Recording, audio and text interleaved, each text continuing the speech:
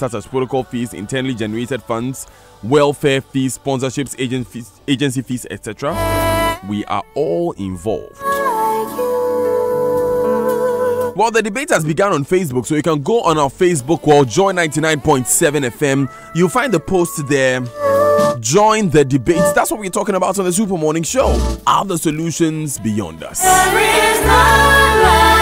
But I'm sure you're tired of using a garden hose to water your lawn every time and you're tired of your brown lawn. Stay green with InGreen. Enjoy a 25% discount on all automatic lawn irrigation materials from April to June 2019. Call us on 0302 819000. InGreen is another quality solution from Interplast. And with Interplast, wherever you are, we make sure water reaches you, even in space. It's now easier and convenient to own that electronic appliance and that furniture you've been dreaming of this year. First Atlantic Bank is giving you an interest free loan up to 40,000 Ghana cedis to deck out your home with your choice of item without hustle. Visit any First Atlantic Bank branch nationwide today and the following partner outlets TCL Somo Vision Sinmins Furniture, Novotech, Electroland Ghana, Macland, and give your home the upgrade you deserve.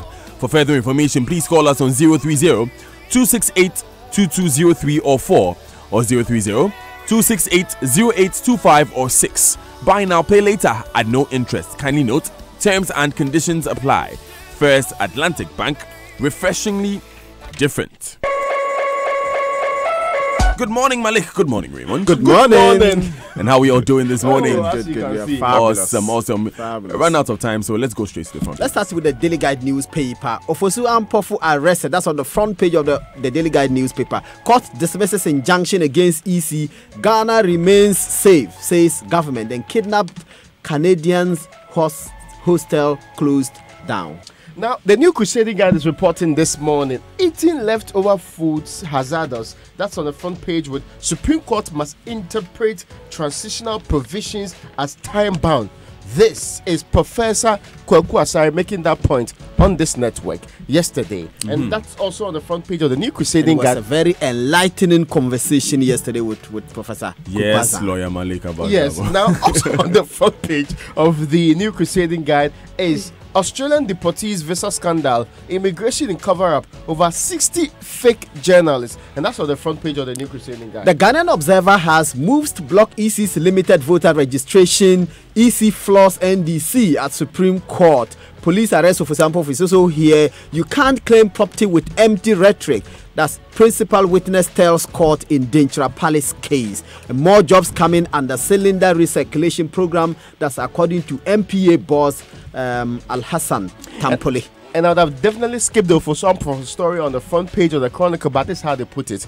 Ofosu-Ampofo smoked out from his hole. Listen, actually, in inverted commas. But MPs disarray over legal reports also on the front page of the Chronicle paper and payers as ministers, MPs. This is assembly members who are running the district assembly concept at the lower levels saying. Mm. The Daily Statesman newspaper has this interesting headline Ghana beyond aid doesn't mean cuts to aid. Guess who is saying that? Yaw Osafo Maafo. Hey, it's been senior we heard from him. All. Coco calls. You mean the, since the Aisha Wangi? Yeah. Okay. Welcome back to public space. Coco calls the markets bluff. Ghana's Cocoa Board and Cote d'Ivoire CCC push for floor price. Fugitive NDC chairman smoked out, similar to the headline Raymond read. Police to release official statement today. Those are the stories on the front page of the Daily Statesman. The Ghanaian Times is reporting this morning that pensioners in trouble for swindling businesswoman and police is arresting for some also here. The Supreme Court throwing out the EC case is one of the three main stories which have been predominating all the headlines mm -hmm. this mm-hmm. morning. And they're the key stories on the front page of the Daily Graphic as well. For example, for arrest, court throwing out injunction against limited voter registration. Ghana, Cote d'Ivoire's fire salvo threatened to withhold cocoa sales, demand $2,600 per ton. Back page of there's one more story on the front page of the Daily Graphic newspaper. Guyana confers highest national award on President Akufo-Addo. Back page of the Daily Graphic newspaper. 350 bed teaching hospital inaugurated at Okwenya um, yeah, those are the stories on the back page. One story on the back page of the Daily Graphic newspaper. Now, the final is the very last paper before me. Now, Ghana remains safe and security agencies remain vigilant. This is according to the prestigious National Security of the Republic of Ghana. And 1.5 million pregnant mothers to benefit from the GE scan by 2020. Then there's one about um, no floor price, no cocoa sale. Ghana and Cote d'Ivoire doing no contribution, no chop kind of arrangement on the floor there. NCNC, right? Yes, yes, yes. Speaking yes. of the person who said NCNC, he was the center of attention, Mr. Ofosu-Ampofo. Uh, I want you to give us the details of the story, but listen to this first. The national anthem urges every citizen to fight the oppressor's rule. Nothing can break the resolve of a determined people. Yes, yes, yes. So that is the, the, the, the general secretary of what is your problem? That's the General Secretary of the NDC, Johnson Nketia. He was speaking yesterday at the Criminal Investigation Department headquarters, CID headquarters yesterday, when Mr. Ofosu-Ampofo was eventually granted bail, police inquiry bail by the CID after his arrest on account of some warrants obtained from the High Court by the police. Now, we know that yesterday Mr. Ofosu-Ampofo was picked up at a church. The, the, um, he was at a, ch- at a church at which he was having a meeting with some uh, members of his party in Accra here at Labone. That's where he was picked up. We know that the NDC had issued a, a, statement saying that they were aware that warrants had been obtained and that he was be, going to be arrested in a manner which embarrassed him. Nonetheless, nonetheless, the police picked him up yesterday. They sent him to his house for some search in his home before they sent him to the CID headquarters for interrogation. His arrest um, is in connection with allegations that he's been involved in kidnappings and, of course, also market fires. The Criminal Investigations Department of the Ghana Police Service said that they have information, and this is information they gathered from persons that they are interrogating relating to these crimes. And those persons mentioned him as one person who is a promoter of the kidnappings and the market fires as well. On the basis of what they call actionable intelligence, they wrote a letter to him specifically on um, May 7th inviting him to appear before them for interrogation in relation to these claims that have been made by persons that they are uh, investigating.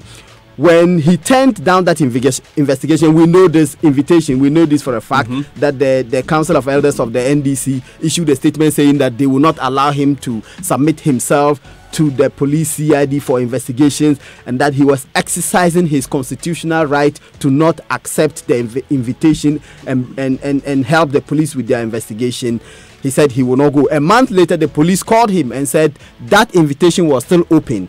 He still insisted that the only condition under which he will appear before the CID and help them with their investigation was if they sought and obtained warrants. So they sought and obtained three warrants for arrest, search, and seizure. Then they picked him yesterday, went and searched his house, and then seized all his gadgets. And they are going to do forensic audits according to the police CID. Forensic audits of these gadgets to see whether they can establish a link between him and the persons who allege that he is the promoter of these uh, acts of the kidnappings and the market fires.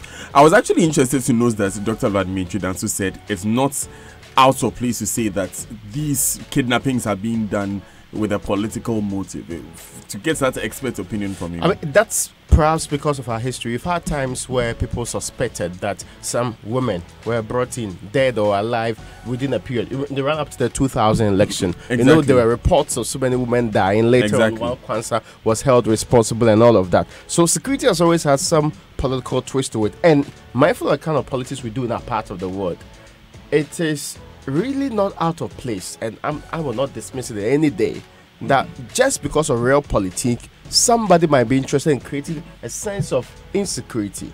And it, it matters. Insecurity is top on the agenda of anybody seeking to run down a state and saying that you are no longer in charge of it, and also you cannot protect the people that well. Then, if people fear for their lives, they are likely to reject you in the case. And the allegation of opposition politicians being responsible for fires is not new. Okay. We know that the last time there were market fires under the previous government, members of that government accused the opposition at the time of being behind the market fires.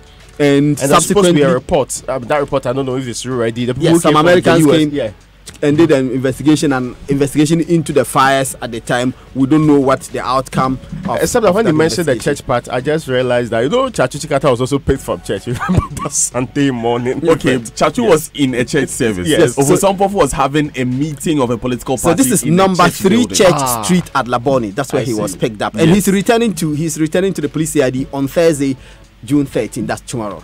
Yes, but the national security has spoken about the security status in the country. Yes, they've assured Ghanaians that now, let's be clear, we are safe and the system remains vigilant. That's the security agencies. And there's no, this is important, Mm-hmm. actionable intelligence or imminent threat to Ghana. You know, Malik mentioned actionable intelligence. So there is actionable intelligence to Yes. inform the arrest of Ofosu-Ampofo. Yes. But there's no actionable, actionable intelligence. intelligence or imminent threat to Ghana. Okay. That is what they are saying in You this mean actionable case. intelligence on an imminent threat to Ghana? Yes. In terms yes, of terror yes, attacks? Yes, yes, yes. Okay. And of course, he also notes that those who are actually within the jurisdiction, those who have actually said um, they are not safe because of travel advisories from first the UK, then Canada, then Australia. just around the time that this statement was being issued, Australia was also preparing its own travel advisory, which Okay. which supported this claim. and the UK has also updated their travel advisory. Yes, but if you read the detail, and they are giving some detail, like for example, there's been increase in petty crime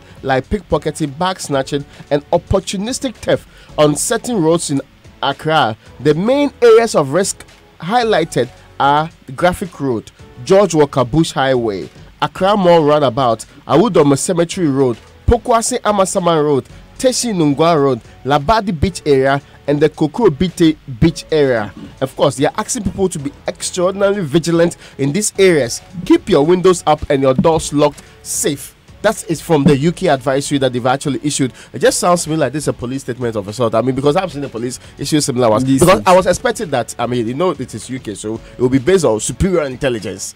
But this one, dear, it so the sounds like security what we know experts, already. the security experts tell you that they analyze the happenings in the news media, Mm-hmm. the police reports, the happenings in the country, and then they base the travel advice on that. So it's basically, you know, not an independent one as far as the Yeah. security experts are telling us. Not an independent on on their end, Okay. but it's an analysis of what is happening. And you have to add that this is quite routine, actually. No, no, but that, that's the point I'm trying to make in this particular case because I was going to doubt the national security's, uh, what they call it, firm assurance to the people until when you break down what the people are telling us, it's just like they, uh, and, and again, I don't know where the Australian people get their data from. It's not true that within the last few months or even this year compared to previous years, uh, robbery has been on the increase.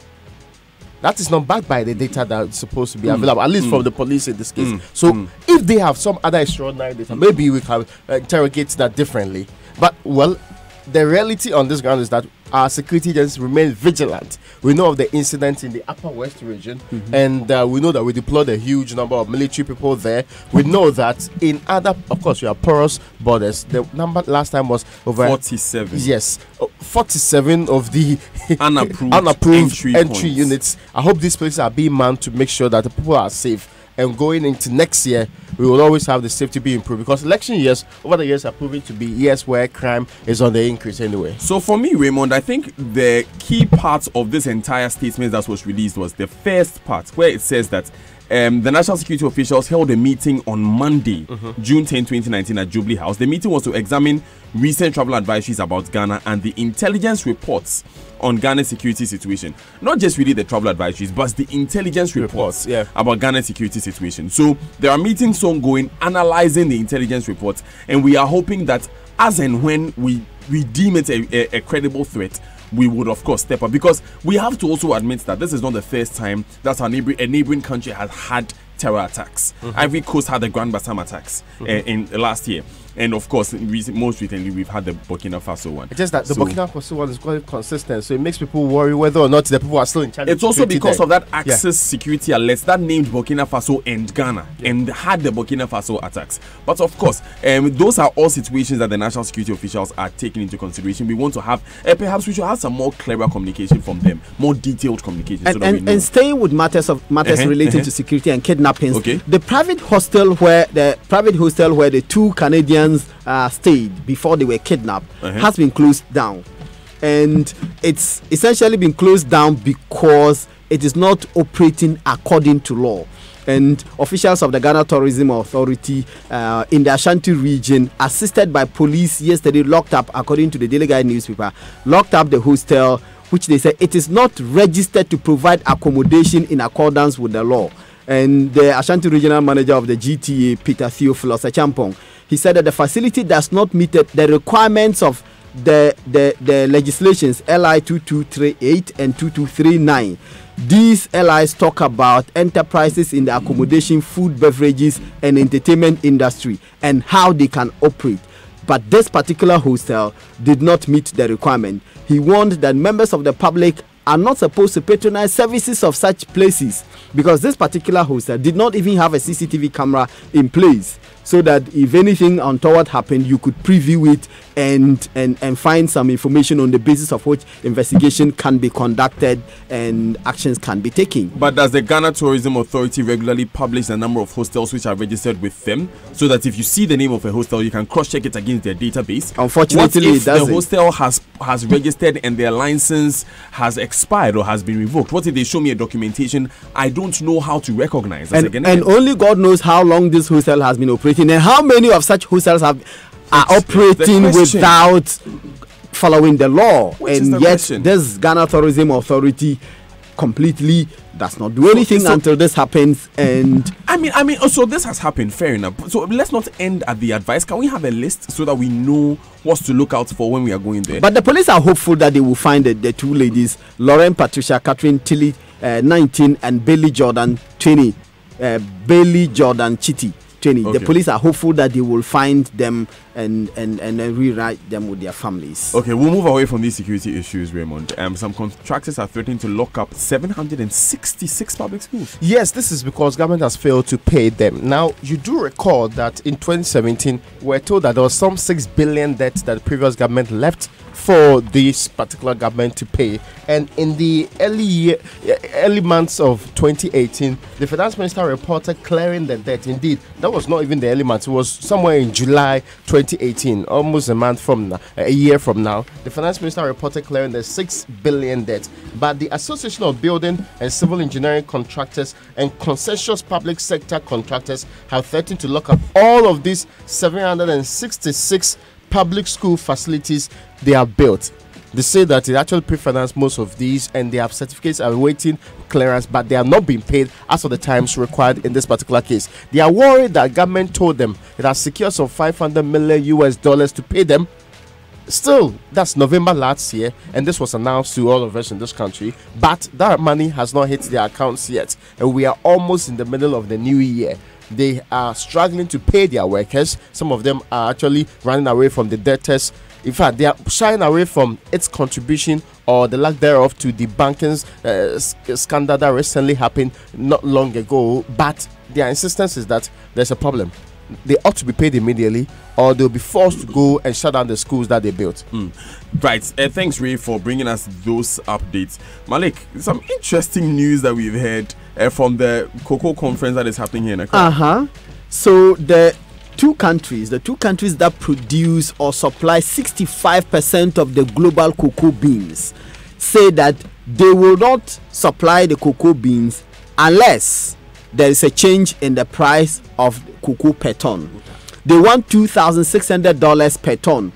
Currently, it's hovering around 2,500 or a little over 2,500. They want 2,600. Uh, you would say that that's a rather conservative demand on the basis of which you to found a, th- a threat not to supply the beans again unless you obtain 2,600 per ton. Now, these two countries, as I said, Ghana and Cote d'Ivoire, they supply 65% of the total cocoa beans requirement on the market. You remember that President Akufo-Addo the last time when he spoke on this matter said that it was on it was inappropriate that the two countries if they came together and decided that they will not supply the, the, the cocoa beans, they would be able to influence the price of the product. And we are about the only two countries or the few countries that produce things that we do not determine what the prices are. Now, the two countries say we want to determine our own price, and the reason why they want to be able to do this is so that they can help the farmers to obtain a great share of the 100 billion cocoa industry. that it is unfair that the farmers are not getting much out of their sweat. Because you see, Malik, we produce 65% of the world's cocoa. And as, it, as two nations, we get 6% of the world's chocolate industry. Nestle, as a company, is worth more. If I if I'm using the right expression, I don't want to guess the, the, name, the name of the company wrong. Pardon me, listeners.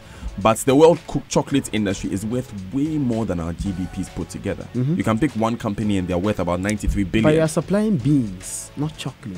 But the You have not is, demonstrated the capacity Malik, the and the willingness and the determination would- no, no, no, to Malik, process would- your cocoa. I would I would You- depart from you on that. The countries that produce oil in this in this world. And I'm, I'm about to pull for you the OPEC figures. In 1973, there was an uh, oil crisis because OPEC said that we won't give you oil anymore. The price raised, went up from $3 per barrel to $12 per barrel. They alone, because you see, it is you that who place a premium on your product. It is a, a, it's, a, it's, a, it's a story that we have been sold that because I've added value to it, you can only get 6% of the market. It's not fair. 6% of a global market. I'm struggling When I produce 65% of the raw material. Now, closely linked to that, however, Malik, is that in September 2019, the government has announced that every student would have a, a chocolate drink every day. That is a, that is a way that we can use our, our cocoa. And, and of course, I mean, CPC and other companies are also doing some level Exactly. of processing in this country. Exactly. I know Exactly. about that. And last last year, I reviewed stories here where CPC, the, the Ghana Stock Exchange, is actually threatening to delay CPC because they are unable to they are unable to meet the requirements on the market. The point I am making is that if we don't add any value to the cocoa, we will continue to have this It's true. argument. We will It's produce true. 65 percent, and it won't amount to much. We are actually going to take cocoa syndication loan to come and buy it. Persons such as Bryce Simmons have argued that if you do proper analysis, we are actually losing money through cocoa production and not earning, not gaining more. Okay, yes. Uh, what you're saying, Malik, is is in line. It's in order. Yes, Sometimes you get passionate about these issues. The online news review is brought to you by um, Zenith Bank in your best interest, Goil. Good energy. Make your day productive by relying on quality fuel from Goil, your three-time CIMG Petroleum Company of the Year. Goil Super XP and Diesel XP are additive to enhance strong engine performance and prolong the lifespan of your vehicle. Above all, you are guaranteed extra quality with our fuel analyzer from our mobile laboratory van. Get your money's worth every day by buying fuel and lubricants from any of Goil's over 360 service stations nationwide. And experience good energy. Buy Goil, grow Ghana, Goil, good energy, Goil, Yanara, Yedia. Now, when it comes to traveling with ease and comfort, Zenith Bank's wide array of MasterCard and Visa card will help you do just that. You can conveniently use your Zenith Bank MasterCard or Visa card at over 300, about 33 million Visa and MasterCard branded ATMs worldwide. On the internet for online purchases and payments, in shop for payments on goods and services, at all Zenith Bank ATMs and on local and international POS or retail outlets that accept Visa and MasterCard. Sign up today, or if you already have one, use a Zenith Bouncer card and Visa cards for a great travel experience. Go light with, Zem- with Zenith Bank, it's faster and smarter. Zenith Bank in your best interest. No imminent threats. Ghana rejects UK Canada security alert. MyJoyOnline.com. EPA boss says time to implement plastic take back policy. AdomOnline.com says it's wrong to allow wives and girlfriends in Black Stars camp. A psychologist speaking there. BC candidates take six week baby to examination center. A lot more of those stories coming through. BBC.com says United States records the biggest ever victory in the FIFA Women's World Cup as they crushed Thailand 13 0. You're serious. We'll take these important messages. We'll be right back.